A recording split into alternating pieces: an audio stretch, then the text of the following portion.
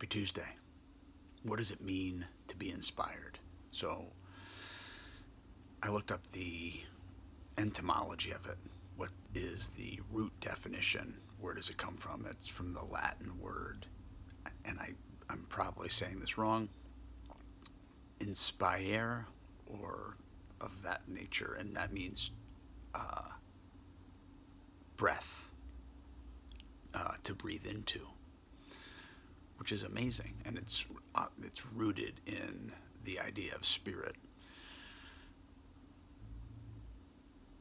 To breathe, to breathe into, to give life to, to reinvigorate, to inspire. That's, uh,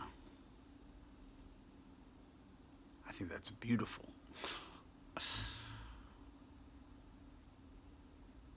think we could all use inspiration. What do we use inspiration for? Where do we draw inspiration throughout the day? Take those moments to be filled with breath,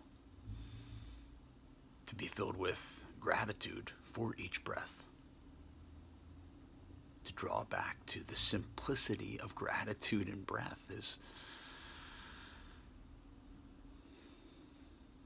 Is it that simple?